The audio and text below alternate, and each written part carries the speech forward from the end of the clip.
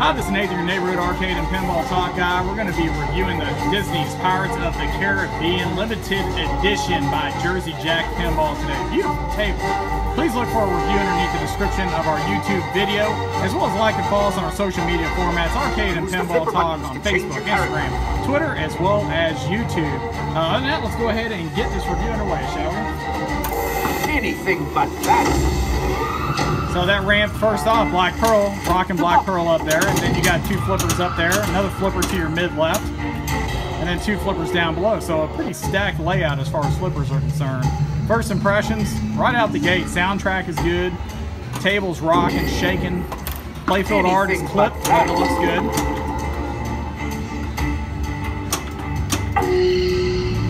Got a spinning uh, center uh, area of the playfield right there, which is the map spinning around.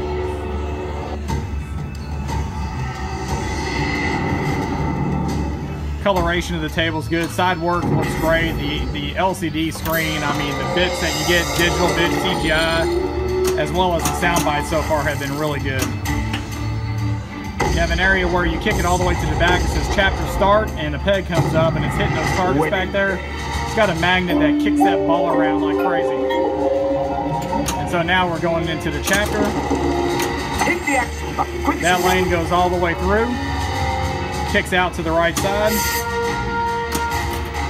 That lane right there is a kind of loopy, kind of goes around into a uh, 90 degree, spits the ball right back out.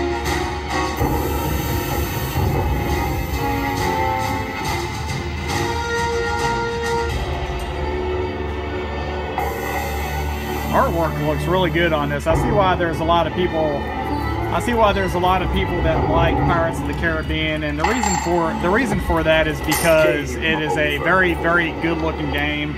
Sound bites are good, replayability on it's good as well. High ball out on this thing though, so obviously you go through coinage very, very quick. Just balled out again. That's how fast this is. It's a high ball out uh, game. Keep fighting.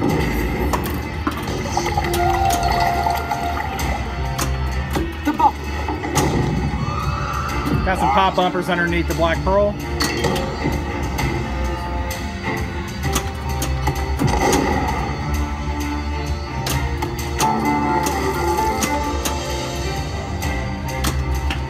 So again, go back to chapter, so you kick it back there, and Magnet kicks it around.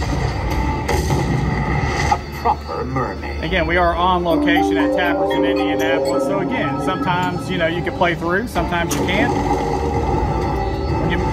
high ball out again back to my point. So you also got a ramp that says Maelstrom right there. Kind of goes down into a funnel right there and kicks out to the Habitrail to your left in lane. You got a lane that goes all the way around that's Devil's Triangle to the back of the table.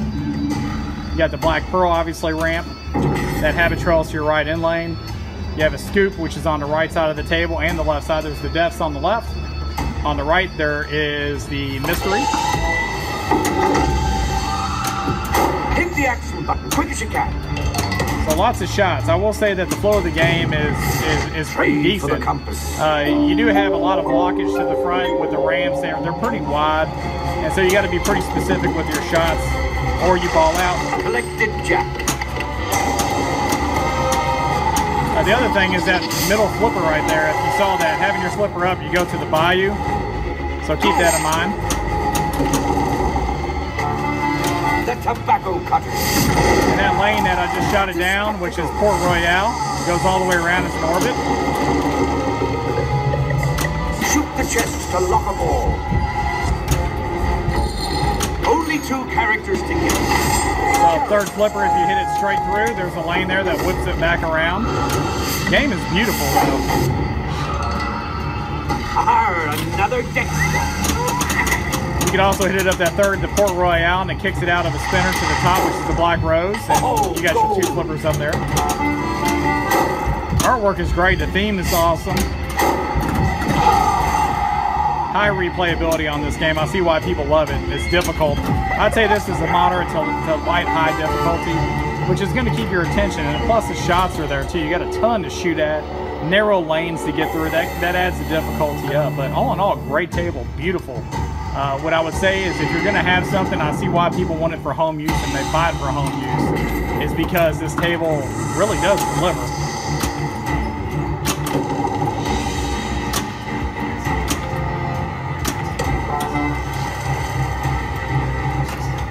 Catcher moves to the ball, play movies, chapters, and multi-ball down to the bottom. So you got the Curse of the Black Pearl, Dead Man's Chest, At World's End, Stranger Tides, Dead Man's Tales. Got another high score on this machine believe it or not. But with that said, please look for our review underneath the description of our YouTube video. Uh, if on desktop, you will see a show more underneath the video. Go there. That's where all our metrics will be written out for you guys.